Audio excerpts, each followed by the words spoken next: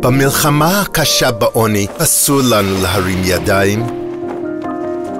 הקרן לידידות תסייע לקראת החג לעשרות אלפי נזקקים כדי להביא אור ותקווה לכל בית בישראל.